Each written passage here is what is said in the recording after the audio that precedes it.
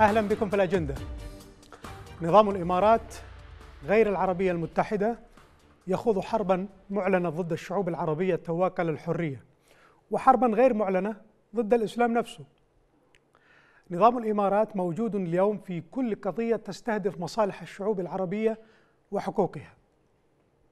وفي كل ملف يستهدف الإسلام والمسلمين على امتداد الكرة الأرضية.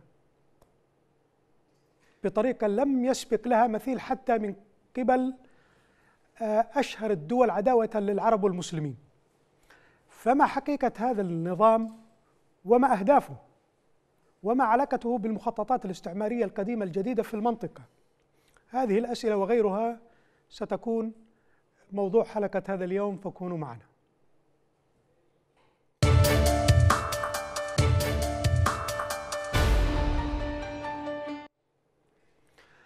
في الحلقة الماضية حدثتكم عن مساعي أمريكا وإسرائيل ودول الثورة المضادة لفتح جبهة جديدة جبهة حرب في سوريا ضد تركيا.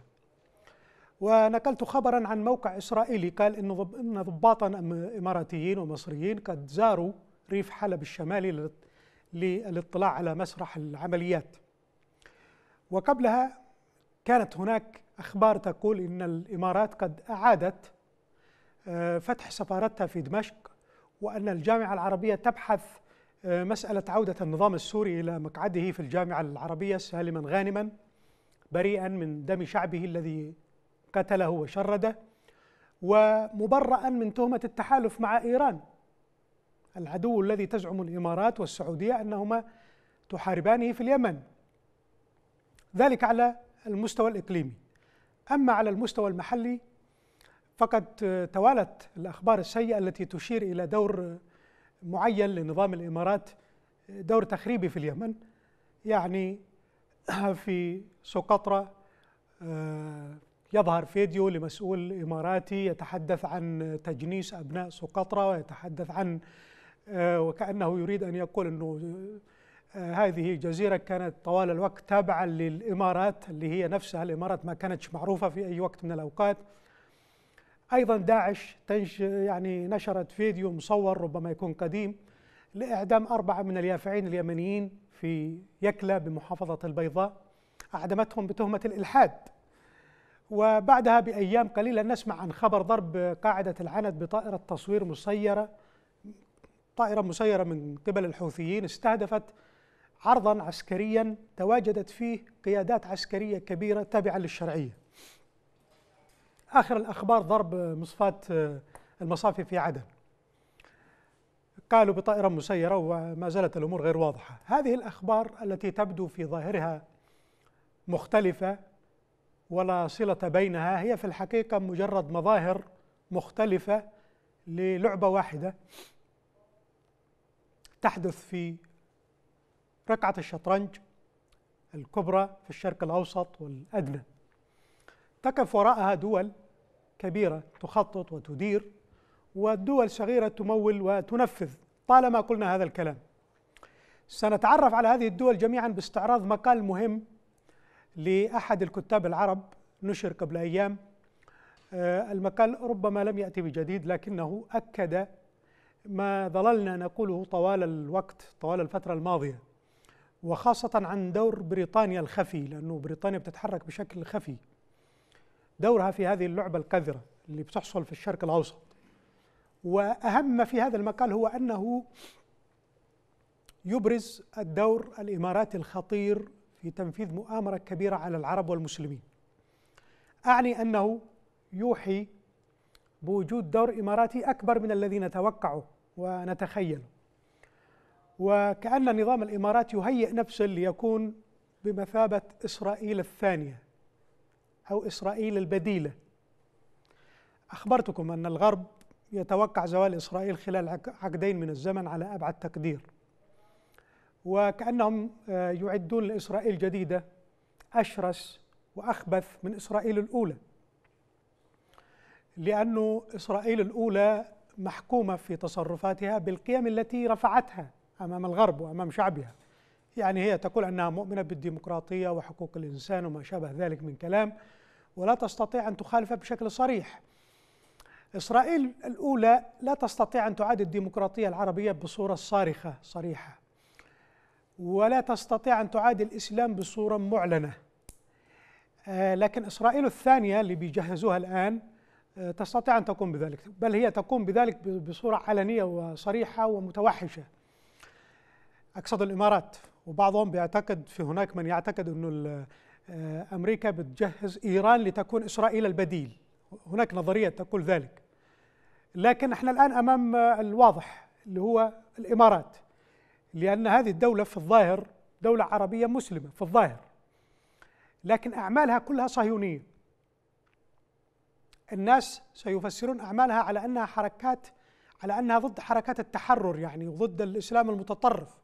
لكن هي في حقيقة الأمر هي ضد الأمة العربية نفسها وطموحات هذه الأمة وضد مقدرات هذه الأمة كما أنها ضد ديانة هذه الأمة ضد الدين نفسه يعني اللي هو القوة الروحية في هذه الأمة.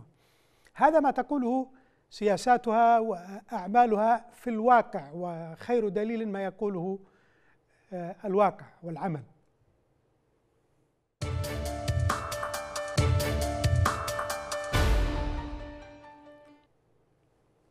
المقال المذكور للدكتور أحمد الهواس. هذا مثقف وإعلامي سوري.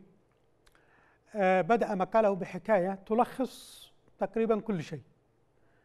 الحكاية تقول إنه آه، قبيل أحداث الحادي عشر من سبتمبر سافر أحد الصحفيين العرب للعمل في الإمارات بوظيفة مدير تحرير لإحدى الصحف الإماراتية الخاصة.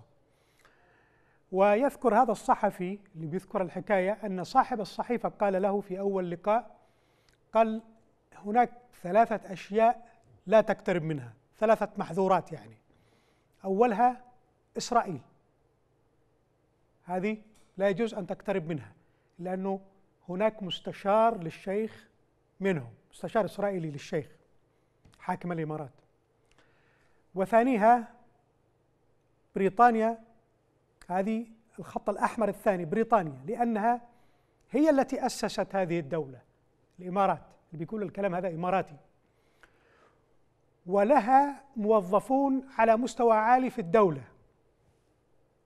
يعني هم اللي بيسيروا حقيقة الأمر وبيوجهوا دولة الإمارات البريطانيين. وثالثها أمريكا هذا الخط الأحمر الثالث. لماذا؟ قال لأنها تحمي هذه الدولة وتحمي نظامها. لأنه بريطانيا ما تقدرش تحميها.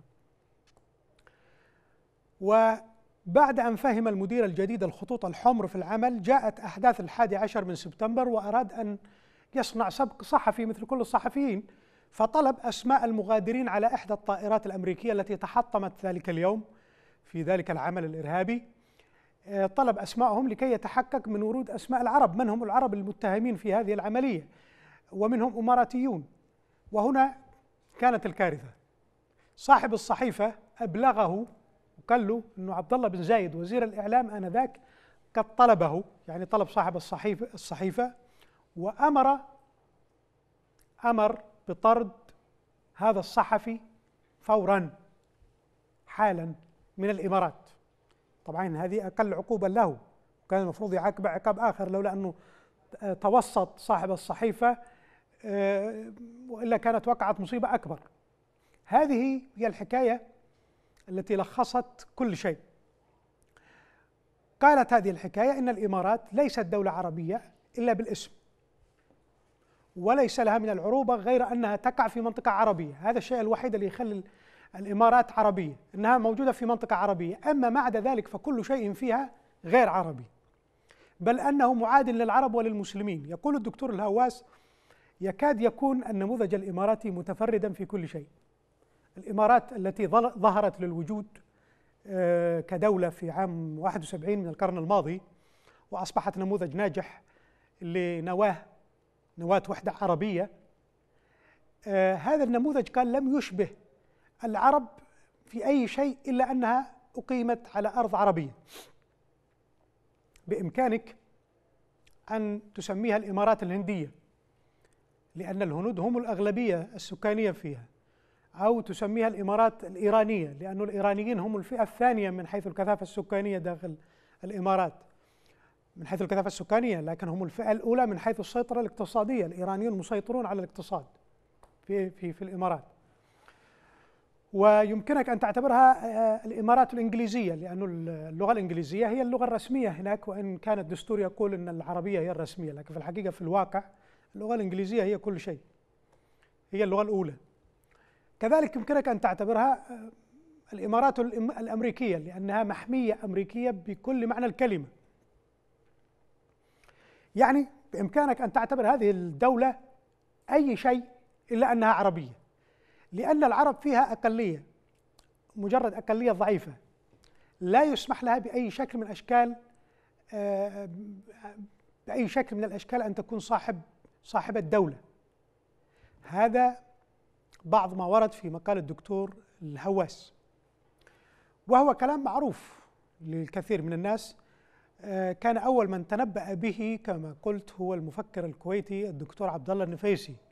هو أول من قال أنه دبي كان بيتكلم عن عن دبي وحدها. ستتحول إلى إسرائيل الثانية والحقيقة أنه الإمارات بكلها قد أصبحت إسرائيل ثانية. تعالوا نستمع إلى عبد الله فهد النفيسي قبل سنوات وهو يتحدث عن هذا الأمر ويحذر منه.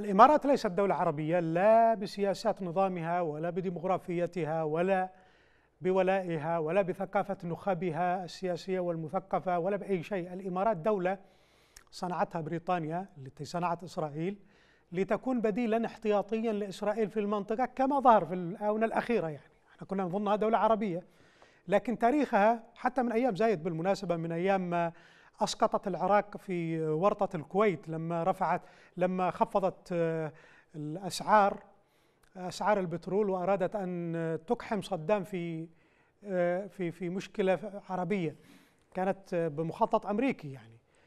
آه، عموما الإمارات تنفذ من الأجندة اليوم ما لا تستطيع إسرائيل فعله وهذا ليس الجانب الأخطر في الموضوع. الأخطر هو أن نظل نتعامل معها نحن الشعوب العربية وكأنها دولة عربية.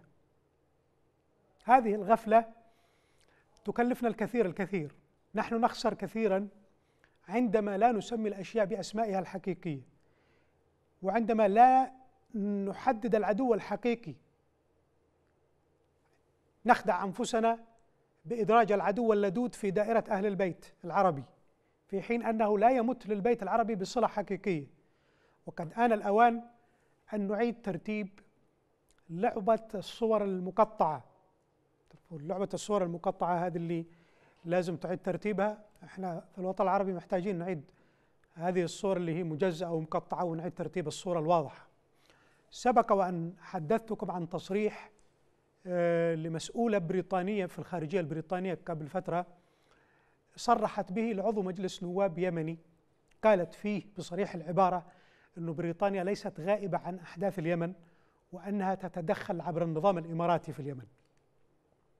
هو القفاز البريطاني لأنه نظام عربي في الظاهر واليمنيين حيقولوا معلش عرب ولأنه قادر على تمويل الأجندة البريطانية في المنطقة. بريطانيا ما تقدرش تدفع فلوس في مغامرات خارجية مثل هذه. وطبعا مصالح بريطانيا ليست مصالحها وحدها. مصالح بريطانيا هي مصالح أمريكا وإسرائيل أيضا. والإماراتيين معهم الفتات الفتات لصالح الأسرة الحاكمة فقط الشعب مسكين. نحن أمام غرفة عمليات واحدة كما سماها الرئيس التونسي السابق المنصف المرزوقي. ولهذا ينبغي أن ننظر إلى الأحداث المتفرقة في الوطن العربي ننظر إليها باعتبارها أدوار متعددة لغرفة عمليات واحدة مشتركة سواء ما يحدث في اليمن أو في سوريا أو في ليبيا أو حتى العمليات الإرهابية التي تحدث في المدن الأوروبية. هذه كلها وراها غرفة عمليات مشتركة يعني ضالعين فيها البريطانيين والأمريكان والإسرائيليين وأنظمة عربية. كل ذلك ينبغي أن ينظر إليه بوصفه عمليات مختلفة لمؤامرة واحدة على مستوى الكوكب. الإمارات فيها تقوم بدور مؤثر. يقول الدكتور الهواس في موضع آخر من مقاله عملت الإمارات بعد الربيع العربي بشكل واضح على إنهاء الحالة الثورية العربية. وهذه السياسة لا يمكن أن تكون من تلقاء نفسها طبعا بل هو الدور المنوط بها اللي كلفت به. وقد عملت الإمارات على عدة محاور منها من هذه المحاور التي اشتغلت عليها بتخطيط دولي شيطنة الإسلام السياسي وفي القلب منه الإخوان المسلمون. هذه واحدة من الأشغال أو من الأعمال اللي عملت عليها. ودعم الثورات المضادة والعمل على إنتاج وصناعة إسلام جديد آه، تحت مسمى التجديد الديني. هو مش تجديد ديني في حقيقة هي بتشتغل عبر مؤسسات موجودة في المغرب وفي أكثر من مكان. بعضها مثلا آه، إسلام بلا مؤمنون بلا حدود أو ما شابه ذلك. آه، منظمات أشبه بالماسونية تعمل لإسقاط الإسلام في حقيقة الأمر. وإنتاج إسلام خاص مشوه على طريقة مجمع نيكيا المسيحي. آه، العمل على إسقاط أيضا من ضمن أعمالها المكلفة بها العمل على إسقاط حزب العدالة والتنمية في تركيا ودعم الانقلاب وجماعة فتح الله كولن. فضلا عن ضرب الاقتصاد التركي بشراء عدة بنوك في الفترة الماضية اشترت عدة بنوك تركية مما أدى إلى انهيار الليرة التركية. كذلك تدعم نظام تنظيم البككة هذا اللي هو معادي لتركيا وتقدم للسلاح وتحت مسمى قوات سوريا الديمقراطية. والحقيقة أن دور النظام الإماراتي في تخريب الوطن العربي أكبر من الظاهر بكثير. هناك أمور لم تتضح بعد للعلن. وما يظهر منه إلى الآن هذا الدور يشبه رأس الجليد رأس جبل الجليد. معظم الجبل عادة بيكون تحت الماء في الخفاء ولا يظهر إلا الجزء اليسير على السطح. وهذا ينقلنا إلى بند آخر يتعلق بالطرق الشيطانية التي تعمل بها الدول آه، لتخريب الشعوب والأوطان. يعني طريقة تخريب الشعوب والأوطان حنتابعها في الفقرة القادمة.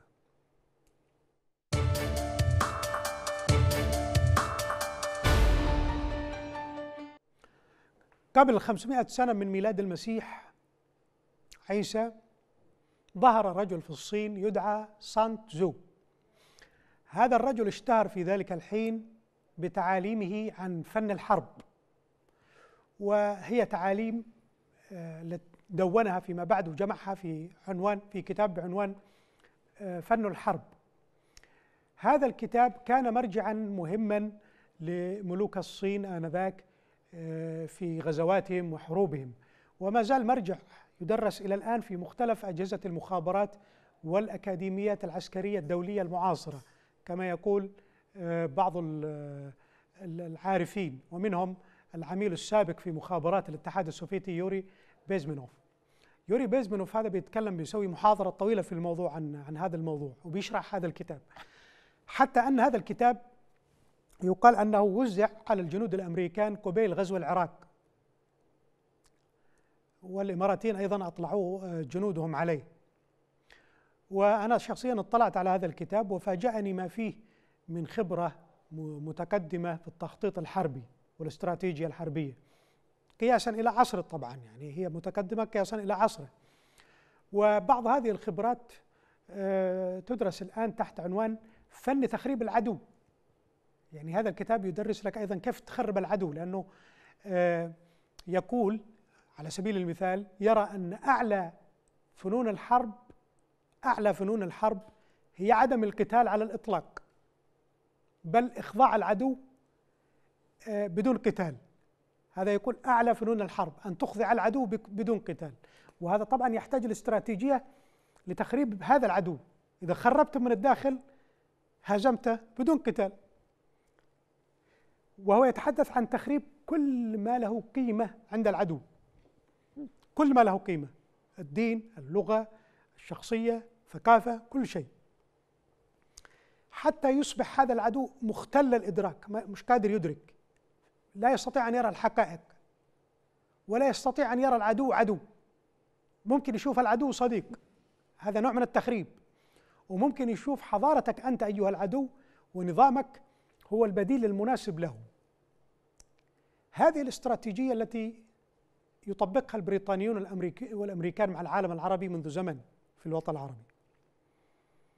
يخضعون أوطاننا ودولنا بدون قتال معهم عن طريق تخريب وسائل الوعي والإدراك العربي بحيث لا تستطيع أن لا نستطيع أن نراهم وهم يخططون ويرسمون المؤامرات. آه، بل أننا نراهم هم وثقافتهم بمثابة منقذ المنقذ الذي نلجأ إليه لحل مشكلاتنا مع أنهم هم اللي صنعوا المشكلات. على بأيدينا طبعا. اليوم بريطانيا تتستر وراء نظام الإمارات وغيره وتدير مؤامرة ضخمة على الأمة العربية عامة وعلى اليمنيين بوجه خاص. عمليات التخريب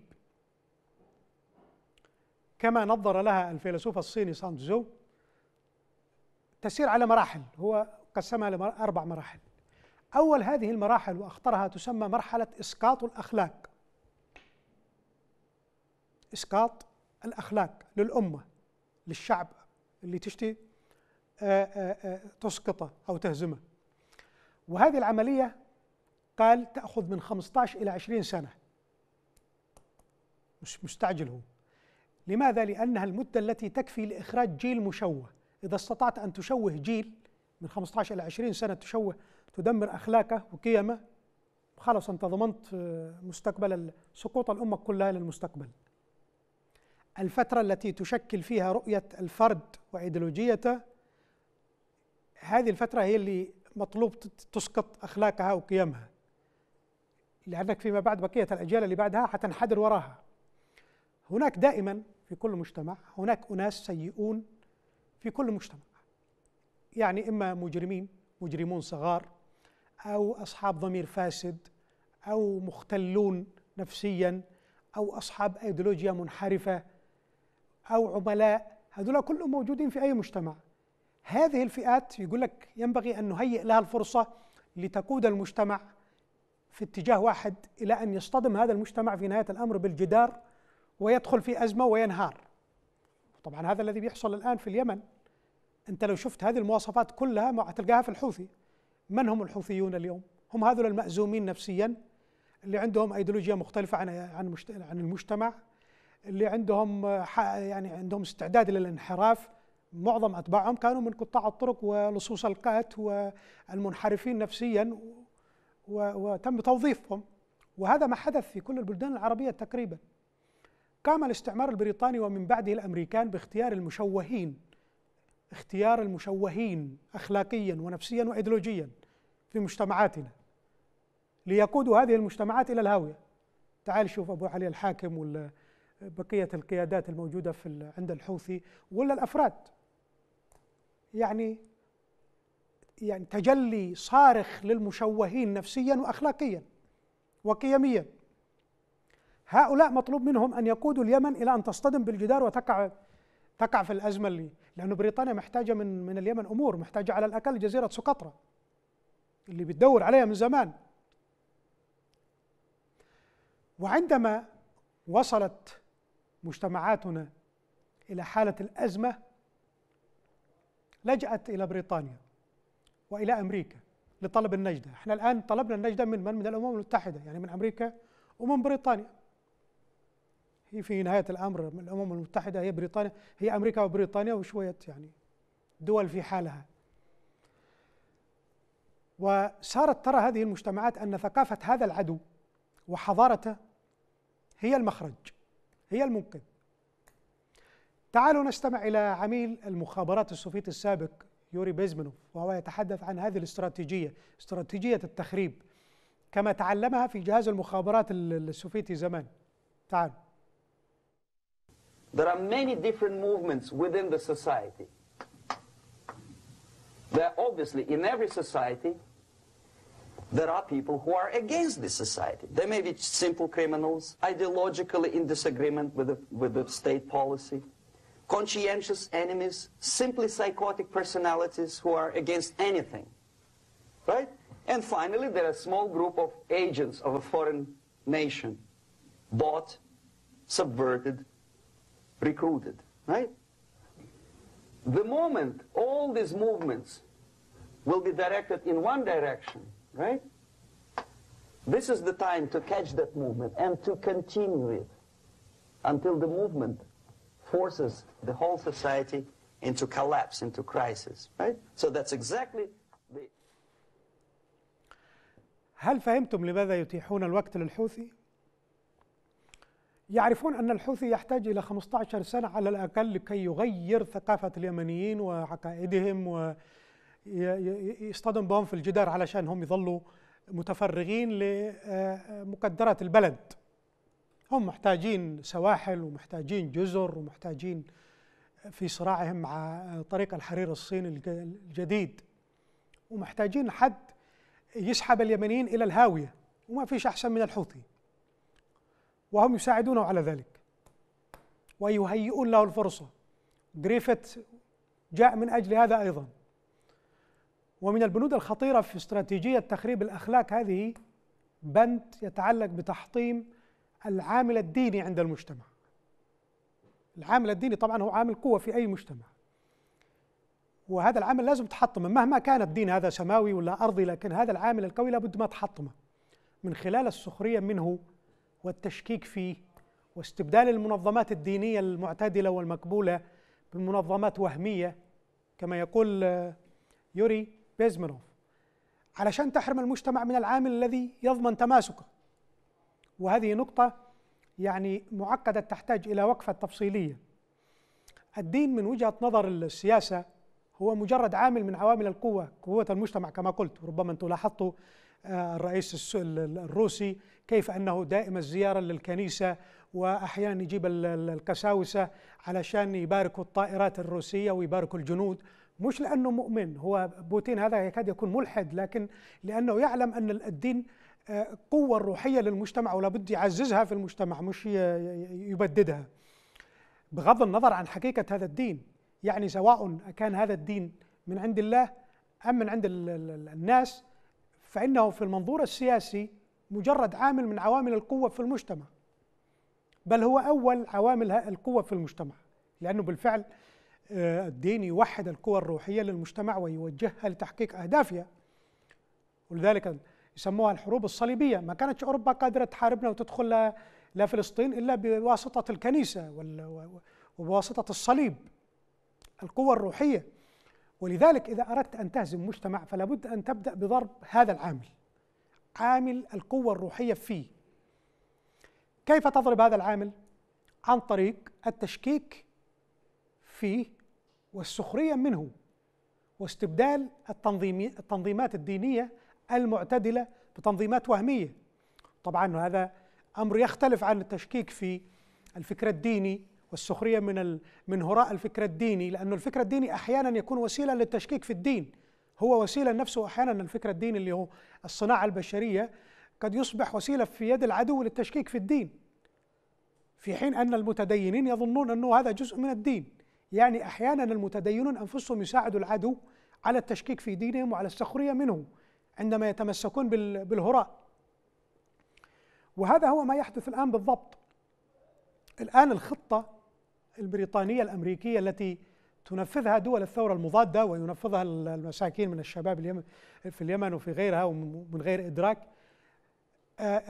طبعا الثورة المضادة وفي مقدمتها الإمارات. هم الآن يشنون حرب ضد الإسلام نفسه. مش ضد الفكر الديني والهراء الديني ضد الإسلام نفسه ضد الدين نفسه. لكن بحجة أنهم يحاربون الجماعات الدينية المتطرفة. وعندما تتأمل الواقع تجد أنها آه، فقط تحارب الجماعات الدينية المعتدلة مثل الإخوان وبعض الحركات السلفية. يعني بغض النظر عن اتفاقنا مع هذه الجماعات أو اختلافنا في نهاية الأمر لازم الحقيقة تقال هذه جماعات معتدلة قياسا إلى داعش أو غيرها. وبيشجعوا داعش بطرق مختلفة. في المقابل هذه هذه الدول تغذي وتنظم جماعات دينية وهمية كما قال بيزنوف مثل داعش. قبل أيام شاهدنا مقطع فيديو بشع لمجموعة من الملثمين يقومون بإعدام أربعة من الشباب اليمنيين في منطقة بمحافظة البيضاء. بيعدموهم بتهمة الإلحاد. يعني وكأنه الإلحاد عاد يعني خلص في اليمن وما عاد بقيوش إلا الأربعة الشباب المساكين هذول اللي راحوا يطلبوا يعني آه، آه، رزقهم. بنفس الطريقة المتبعة لدى داعش في سوريا والعراق وغيرها من الأماكن. مسرحيات مكشوفة يعني أصبحت مكشوفة للناس. وبعدها شاهدنا مقطع لملثم آخر يفضح هذه اللعبة ويقول واحد من من البيضة نفسها يعني. طلع قال جماعة داعش هذه الموجودة عندنا في البيضة في المنطقة الفلانية موجودة بين جبال بين الجبال المستوطنة هناك من عام 2014 والناس كلهم عارفين تحت سمع وبصر الإمارات وأمريكا والحوثي وبمعرفة أهل البيضاء كلهم. وقال أنه السلاليين الهاشميين في بيضة في البيضة يمدون هذه الجماعة جماعة داعش الموجودة في مكانها يمدونها بالذخائر والكباش كما قال تحت سمع وبصر الجميع. إذا هذه لا يطالها الأذى لماذا؟ لماذا لم تصل إليها طائرات الدرونز بدون طيار الأمريكية والإماراتية والحوثية اللي بتقصف في بعض الأماكن؟ الأمر لا يحتاج إلى ذكاء. واضح. هذه صناعة مخابراتية موجودة لتنفيذ مهام لصالح الثورة المضادة.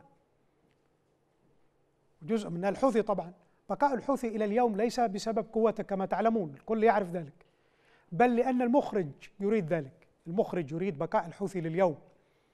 مسرحية داعش هذه لم تعد تنطلي إلا على السذج من الشعوب. تعالوا نستمع إلى يوري بيزمنوف العميل المخابرات السوفيتية السابق وهو يشرح كيف يختارون المأزومين نفسيا وأخلاقيا والجماعات المعارضة للمجتمع وكأنه يتحدث عن حركة الحوثي. تعالوا. The first stage of subversion is the process which is called basically demoralization. It says for itself what it is. It takes from, uh, say, 15 to 20 years to demoralize a society. Why, why 15 or 20 years? This is the time sufficient to educate one generation of students or children. One generation, one lifetime span of a person, a human being, which is dedicated to study, to shaping up the outlook, ideology, personality. No more, no less. Usually it takes from 15 to 20 years. What it includes? It includes influencing or by various methods, infiltration, uh, propaganda methods, direct contacts, doesn't really matter. طبعا عملية التشكيك في الدين لضرب القوى الروحية للمجتمع كما قلت قد يساهم فيها المتدينون أنفسهم بجهل وهذه نقطة مهمة تحتاج شرح. الدين الدين مثل المجتمع فيه عناصر قوة وعناصر ضعف. العدو عادة يستغل عناصر الضعف في المجتمع لتفكيكه وإضعافه. كذلك العدو يستغل عناصر الضعف الموجودة في في الدين أو ما يسمونه الناس دين وهو أحيانا قد يكون دين وفكر ديني ويوجه إليها سهام التشكيك والسخرية. والدين هنا على نوعين إما أنه صناعة بشرية وإما أنه منزل سماوي.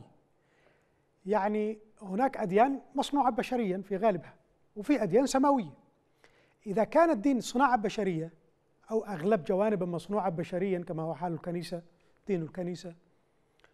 إذا كان كذلك فإن نقاط ضعفه عادة تكون كبيرة وخطيرة ومن السهل استغلالها. يجوا لك لا عندي موضوع عقيدة التثليث ويقول لك كلام غير منطقي. واضح أنه كلام غير منطقي ولا له ولا لها لازمة ولا لها هدف ولا غاية واضحة. فيشككون من هذا الباب. فيحسنون استغلالها لأنها منطقيا ضعيفة.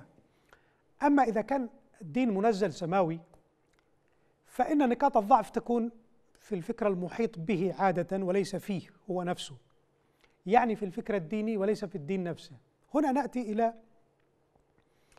تأتي مسؤولية المتدينين.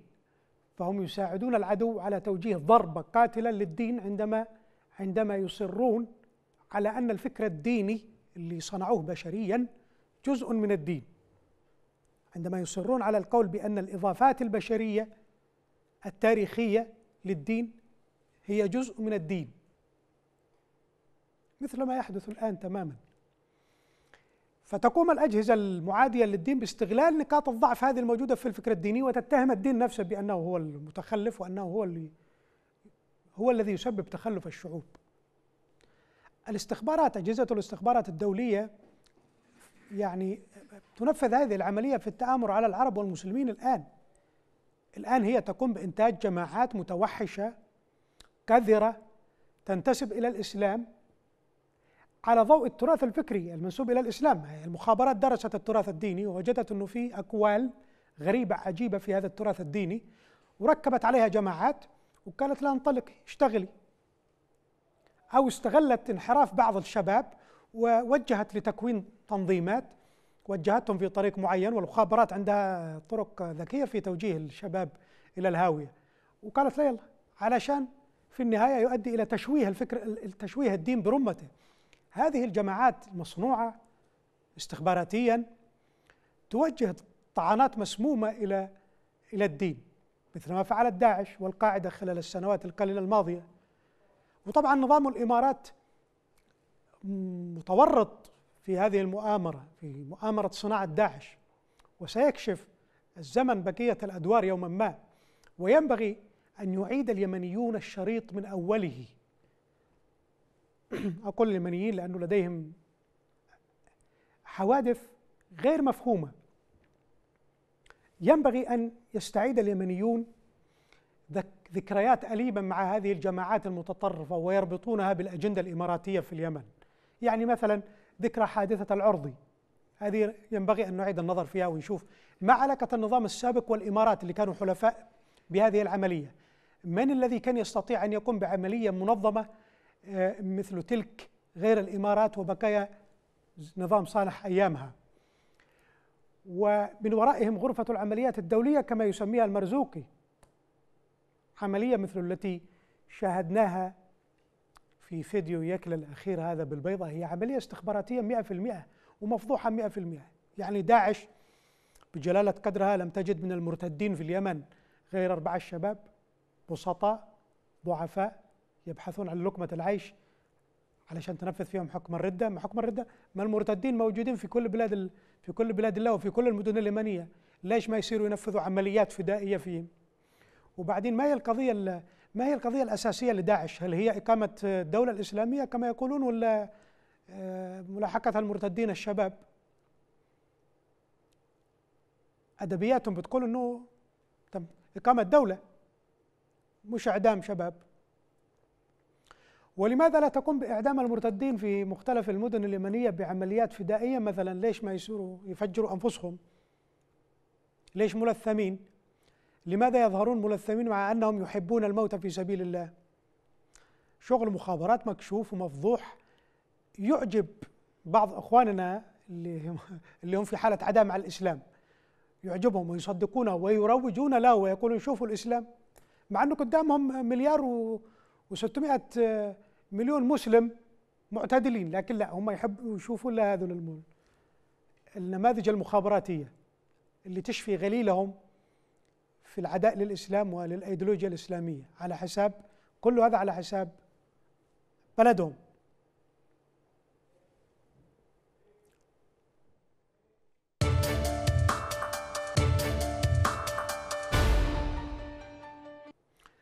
بريطانيا تعمل بهدوء ومكر وما المبعوث الأممي جريفيث إلا ذراع أخرى من في أجندتها الماكرة في اليمن. بريطانيا مهتمة باليمن وجنوب اليمن تحديدا وجزيرة سقطرى بالذات من وقت مبكر وكنت أشرت إلى هذا من قبل. وعلينا نحن اليمنيين أن نربط بين أجندتها وأجندة الإمارات وأجندة النظام السابق أيضا أيام ما كان موجود لكي نفهم اللعبة. بريطانيا تعمل بهدوء من وقت مبكر. وهناك موقف حصل معي أنا شخصيا يكشف كيف كانت بريطانيا تعمل في تفكيك القوى اليمنية من وقت طويل. يعني في العام 2013 أو العام 2014 لا أتذكر بالضبط جاءني اتصال من السفارة البريطانية بصنعاء وعرض علي الجلوس مع باحثة أو مسؤولة في السفارة لا أتذكر تماما علشان نناقش موضوع محدد هو معلوماتي عن الإخوان المسلمين في اليمن. يعني باعتباري باحث مهتم بالظاهرة الإسلامية والجماعات الإسلامية. واعتذرت يومها عن الذهاب إليهم آه، لأن الأمر بالنسبة لي مريب. رفضت هذا مجرد شاهد على أن البريطانيين وغيرهم طبعا حتى الفرنسيين تواصلوا معي بطريقة معينة. السفارات كلها كانت تتواصل يبدو مع الباحثين في اليمن. آه، كانوا مهتمين بالقوى الفاعلة في الساحة اليمنية وهو اهتمام لأغراض سياسية طبعا. شوف ما سألوناش عن الحوثيين سألونا عن الإصلاحيين عن الإخوان المسلمين. مهتمين طبعا لأغراض سياسية. عرفنا هذه الأغراض فيما بعد لما سقطت صنعاء والدولة اليمنية بيد الإماميين اللي هو حليف بريطانيا القديم. واليوم اليمنيون جميعا يلاحظون كيف أن بريطانيا وأمريكا والمجتمع الدولي يدلل الميليشيا الحوثية ويقويها بكل وسيلة. ينبغي أن نقول هذا في وجه بريطانيا وفي وجه ينبغي أن نفضحهم ويكون الأمر واضح. بلاش كذب على الناس.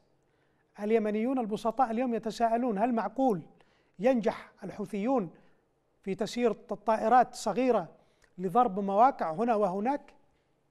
لضرب قيادات الجيش في أكبر قاعدة يمنية في قاعدة العند؟ هل معقول هذا في حين أن الحوثي نفسه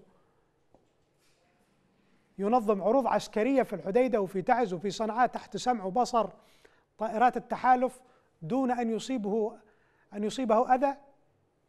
أي نوع من الحرب هذه؟ ما علاقة الحوثيين السلاليين في في البيضاء بجماعة داعش؟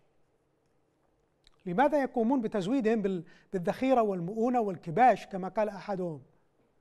ينبغي علينا أن نحن اليمنيين أن نعيد تركيب الصورة المبعثرة ونتأمل تفاصيلها تناقضات المشهد لأنها هي التي ستقودنا إلى الحقيقة. ونذكركم معظم الاغتيالات التي تمت للمعارضين العرب تمت في في بريطانيا. ينبغي أن نعيد تركيب الصورة القديمة على ضوء الفرضية القوية اللي قدامنا. بريطانيا أمريكا الإمارات دول الثورة المضادة يعملون جنبا إلى جنب وفق أجندة مشتركة تستهدف إضعاف المجتمعات العربية وتعديل تعطيل قواها الحية. ينبغي أن ننظر إلى الإمارات من اليوم صاعدا لا كدولة عربية لديها انحرافات وإنما كدولة معادية مثلها مثل إسرائيل مثل بريطانيا مثل أمريكا لها أجندة أجنبية لا علاقة لها بالعرب. على الأقل لأنها بالفعل أصبحت قاعدة استعمارية غربية وسياسية. الإمارات أصبحت قاعدة استعمارية في المنطقة العربية قاعدة غربية وسياساتها الظاهرة والباطنة ستؤدي إلى تقويض هذه المجتمعات العربية بصورة نهائية في يوم من الأيام إذا استمرت على ما هي عليه لأنها تقوض كل مقومات الأمة. ينبغي أن نعيد ترتيب الصورة كما قلت ونرتب أعداءنا ونقولها لهم صريحة معلنة أنتم عدونا لأنكم تطيلون هذه الحرب وتطيلون معاناتنا وتقوون هذه الميليشيا. إلى هنا تنتهي هذه الحلقة. نلقاكم في الأسبوع القادم. في أمان الله.